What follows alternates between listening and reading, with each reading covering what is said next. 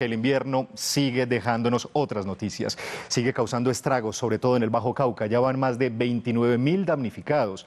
Los municipios más afectados son Nechí y Caucasia, donde más de 3.500 familias perdieron todos sus enseres con la creciente del río Cauca. Así están las calles de Caucasia.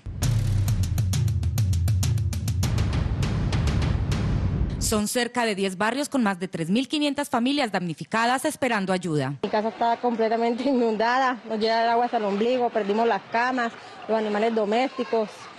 Eh, como ven, todos necesitamos pues, ayuda del gobierno. A la emergencia se suma la preocupación por el brote de infecciones. Decenas de personas presentan dermatitis, pues muchas de ellas llevan varios días bajo el agua.